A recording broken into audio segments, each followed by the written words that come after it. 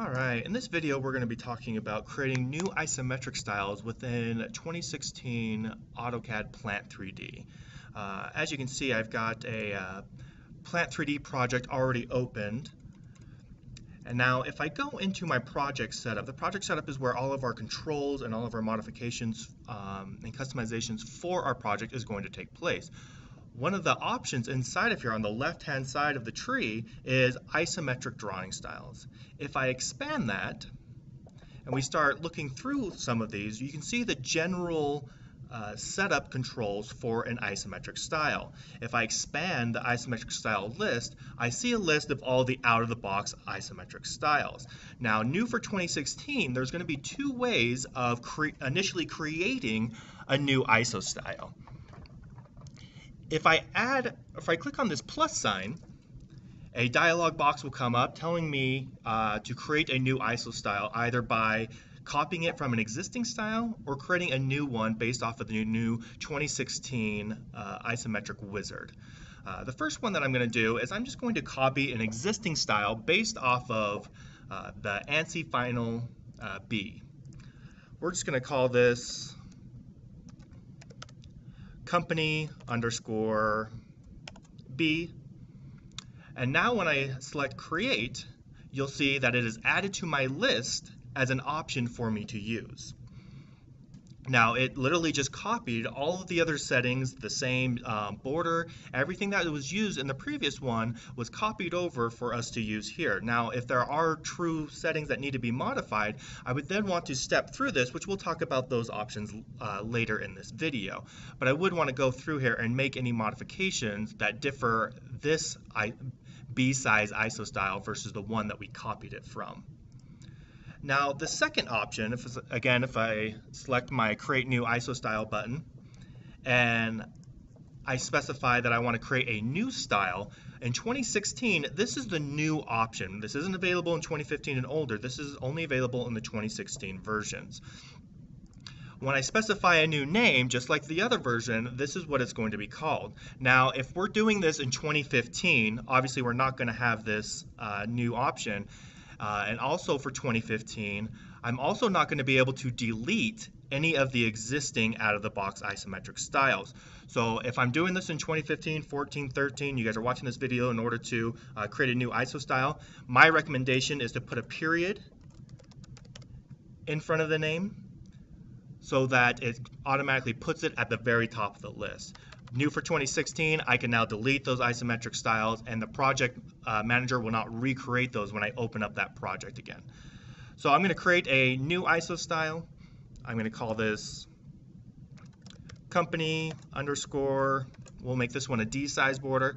And then when I select create, because I'm not copying from an existing one, this wizard pops up for me.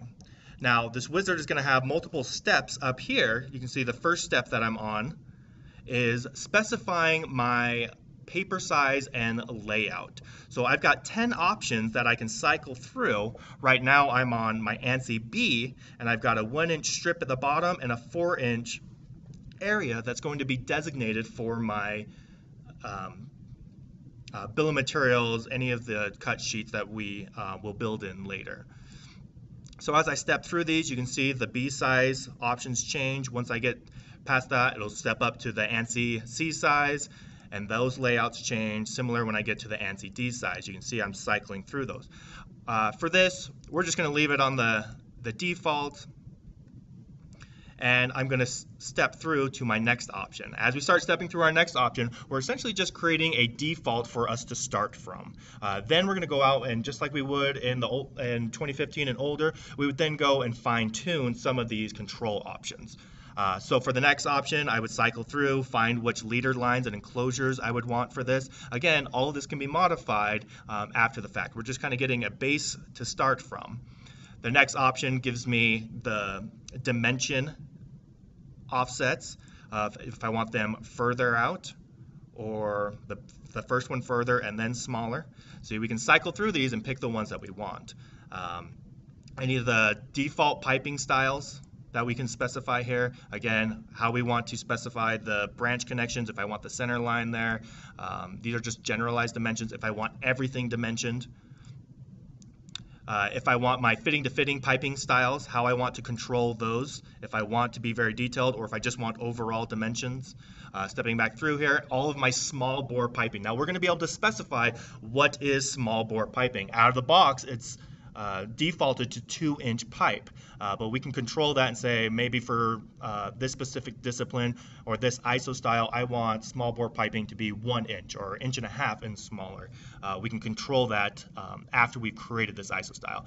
And then the last setting that we're going to cycle through is going to be the size of the symbols as well as the size of the tag that we see here for, for our um, for our annotation.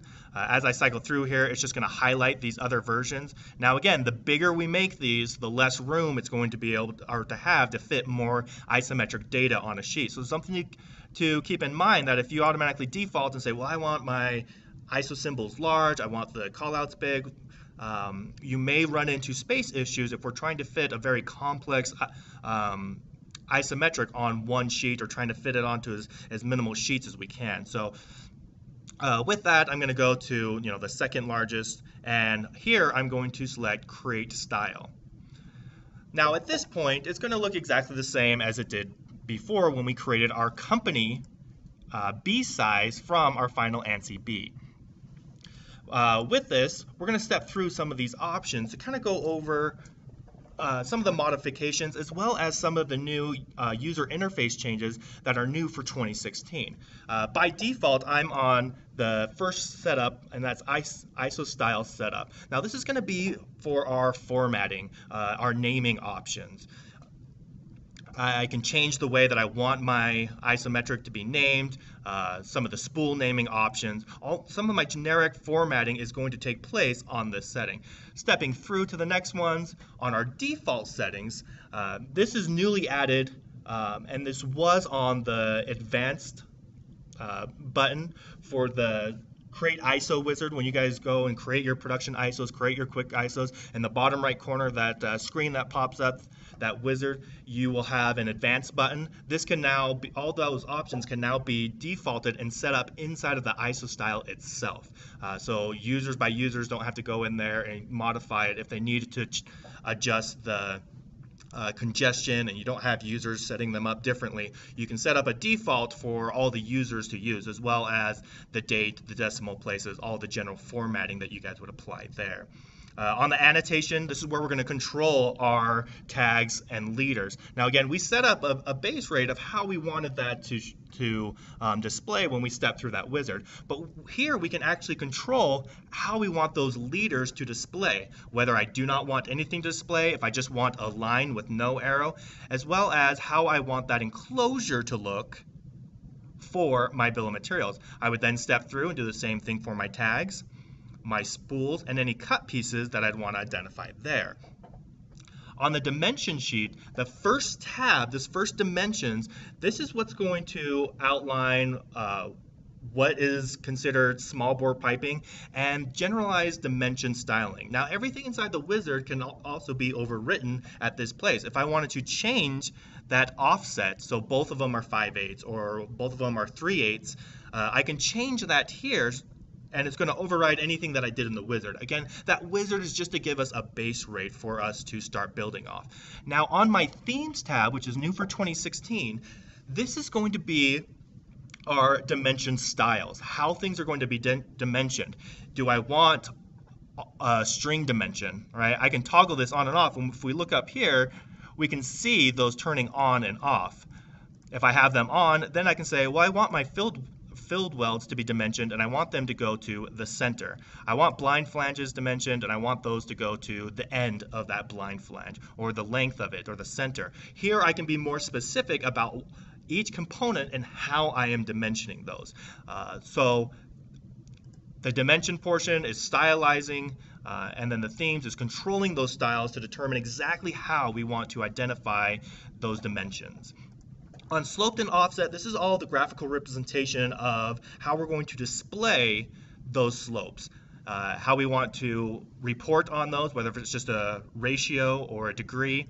Uh, if we want a uh, skew triangle, if I want to step through and I want a more 3D, if we have a lot of rolled elbows, for instance, I can do add a 3D box or skew triangles to show exactly how this is um, rotated out. All of this can be controlled directly through here.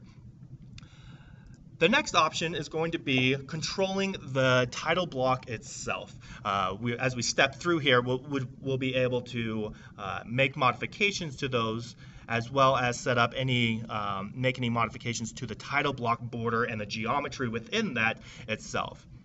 The last option that we have identified here is going to be a PCF uh, isometric preview um, for this. Uh, sometimes this takes a little bit uh, while to sp spool up, especially if we don't have any geometric data inside of this um, project that we're working on. For me, I don't have any design data, no drawing files inside here. So it's gonna it's gonna take a while before that stops spinning me and tells me that there's nothing to preview inside of there. Uh, so this is a quick tutorial on creating a new isometric style inside of 2016. Uh, I hope this was a helpful video.